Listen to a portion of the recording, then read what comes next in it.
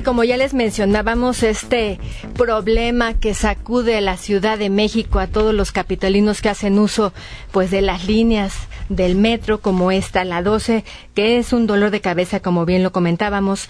Y bueno, pues ya el gobierno capitalino ha anunciado que contempla abrir una, este, ciertas estaciones, que son 11 estaciones, como una reapertura paulatina, pues que fueron cerradas en marzo pasado.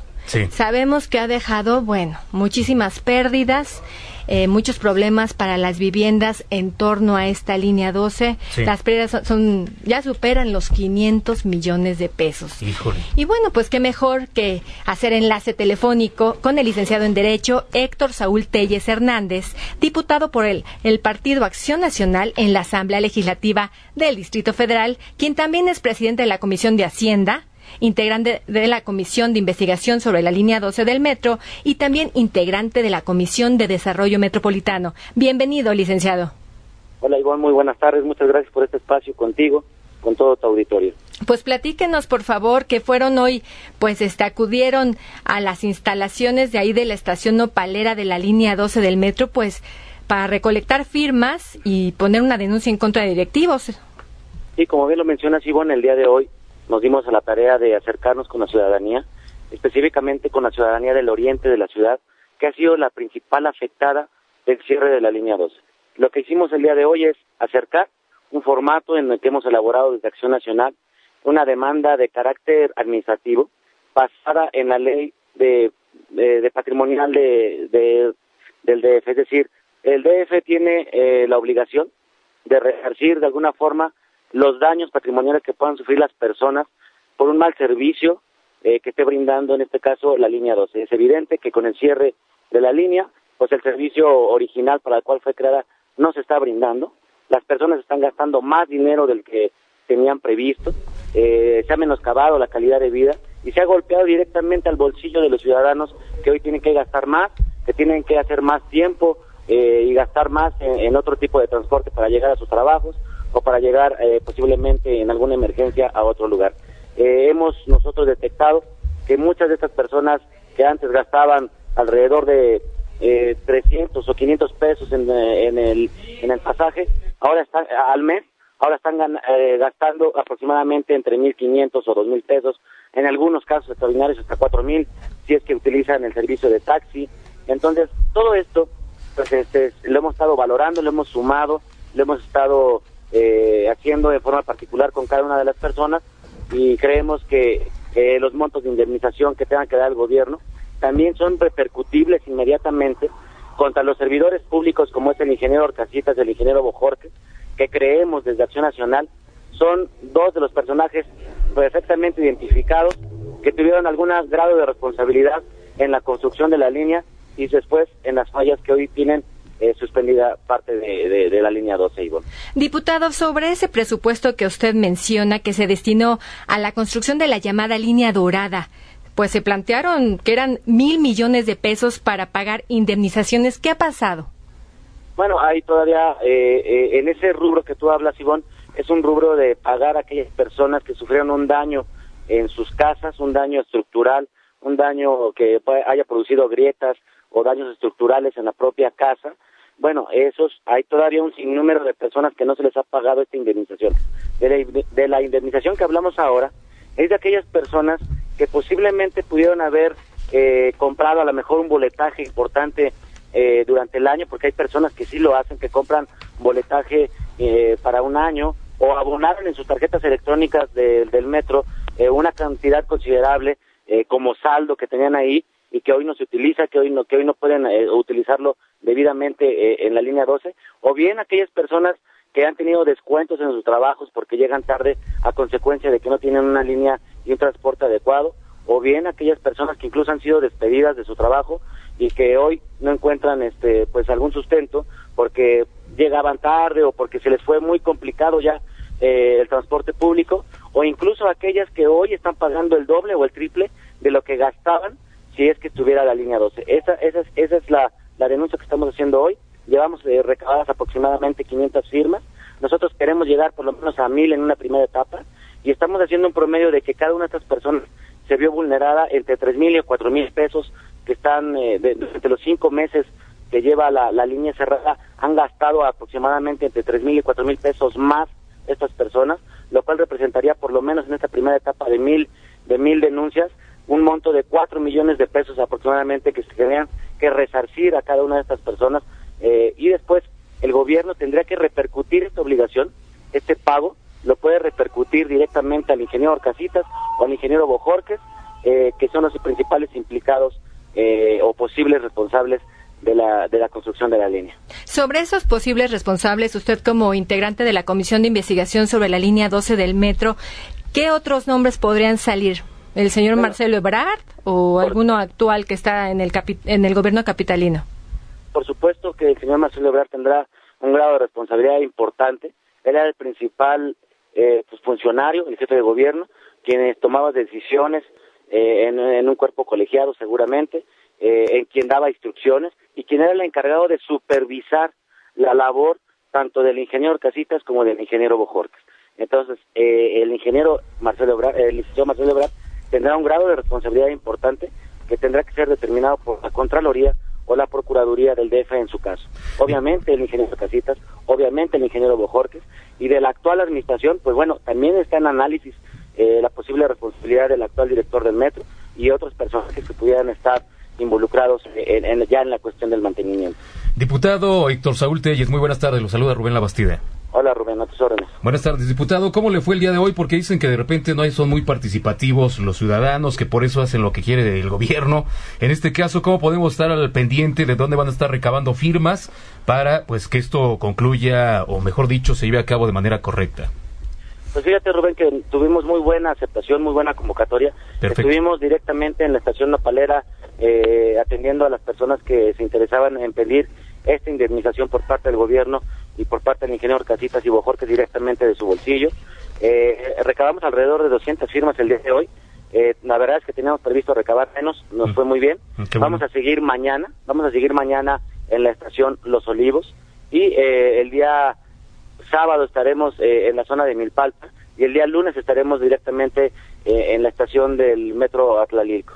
Diputado, lo invitamos a que se quede con nosotros después de un corte comercial y regresamos a retomar esta interesante entrevista sobre la línea 12. Y ustedes, amigos de Fórmula Femenina, los invitamos a que pues participen con nosotros en las líneas telefónicas. Claro que sí, los teléfonos en cabina ya los conoce, 5524-7991 y 5524-9464. Este es el momento correcto de aprovechar al diputado Héctor Saúl para que nos diga eh, pues dónde van a estar exactamente los horarios ahorita regresando de la pausa. Así es, vamos a un corte comercial y regresamos, no nos tardamos. Los teléfonos en cabina 5524-7991, 5524-9464 están sonando las líneas del punto crítico, haciendo muchas preguntas. Este tema es de interés general, muchas personas están interesadas en participar. En Facebook también el punto crítico y en Twitter arroba el punto crítico.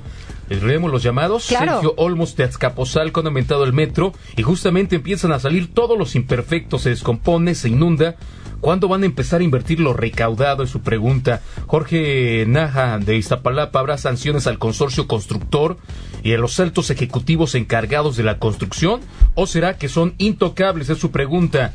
Y Adriana, Adriana también se comunica con nosotros. El aumento al metro se justificaría si el servicio fuera bueno, pero hasta ahora solo se ha visto lo contrario, si no es que lo mismo. Así es, pues retomamos la entrevista vía telefónica que tenemos con Héctor Saúl Telles Hernández, quien es diputado del PAN en la Asamblea Legislativa del Distrito Federal, quien es también presidente de la Comisión de Hacienda e integrante de la Comisión de Investigación sobre la línea 12 del metro. Muchas gracias por la espera, diputado.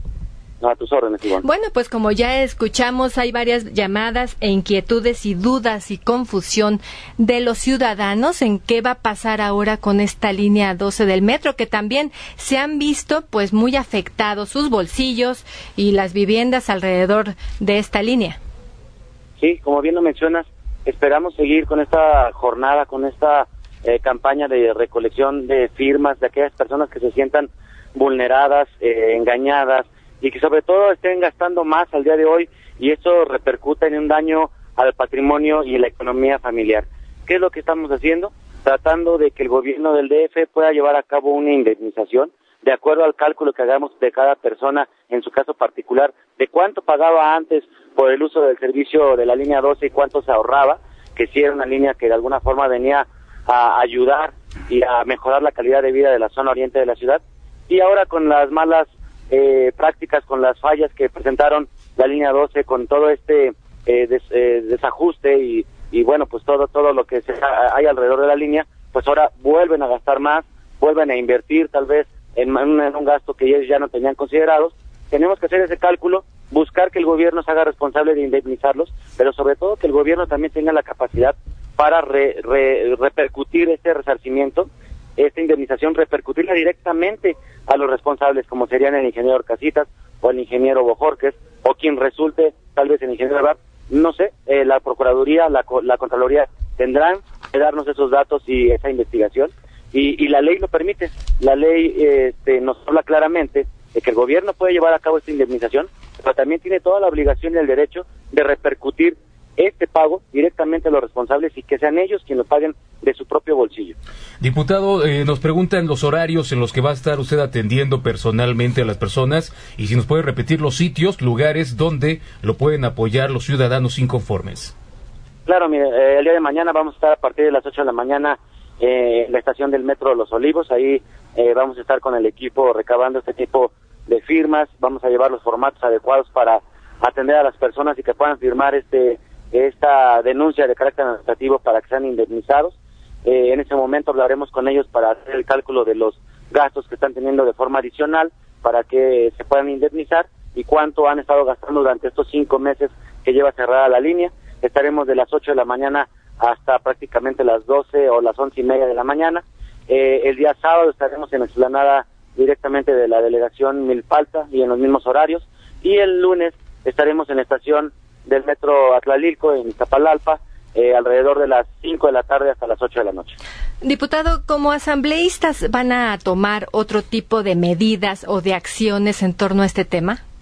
Sí, por supuesto, nosotros estamos valorando toda la información que ha llegado a la Comisión de Investigación de la cual soy integrante. Hemos encontrado algunos elementos que nos pueden permitir algunas otras denuncias, ya no como esta, sino ya denuncias formales de carácter penal y de carácter administrativo en materia de responsabilidades administrativas eh, estamos ya analizando esta información. De, con el informe preliminar que dio la Comisión de Investigación de la Línea 12, también tenemos elementos suficientes para llevar a cabo estas denuncias.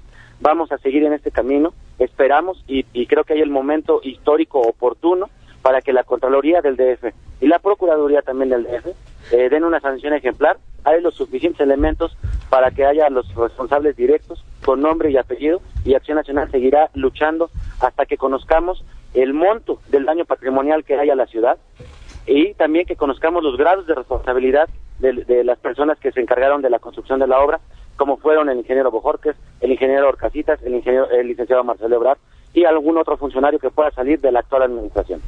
Diputado, mientras tanto, el gobierno capitalino pues ya contempla hacer una reapertura paulatina de las 11 estaciones cerradas que fueron en el mes de marzo. Hasta septiembre piensan que puede abrir la línea 12. ¿Usted qué cree? Pues yo creo que son tiempos muy apresurados. Al día de hoy ni siquiera conocemos un plan de rehabilitación y de reparación de la línea. No sabemos la cuantificación de cuánto pueda costar la rehabilitación y la reparación de la línea 12. No conocemos todavía los grados de responsabilidad y el daño patrimonial que pudiera haber surgido eh, por haber, hecho malos trabajos en la obra. Eh, nos parece que primero tendremos que conocer este plan de rehabilitación, este calendario. No lo conocemos al día de hoy porque la Secretaría de Obras no nos no lo no lo ha dado a conocer y parece ser que no lo tiene todavía listo.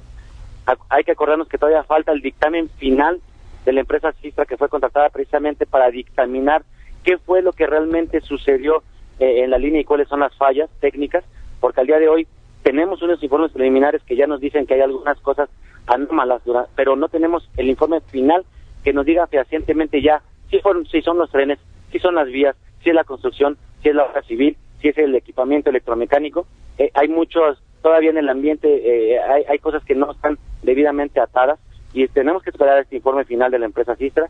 Después conocer el calendario y el plan de rehabilitación con montos y también conocer quién lo va a pagar, si será el gobierno o será el consorcio constructor quien va a asumir eh, este esta obligación o bien y después ya conocer si se van a abrir en forma paulatina algunas estaciones.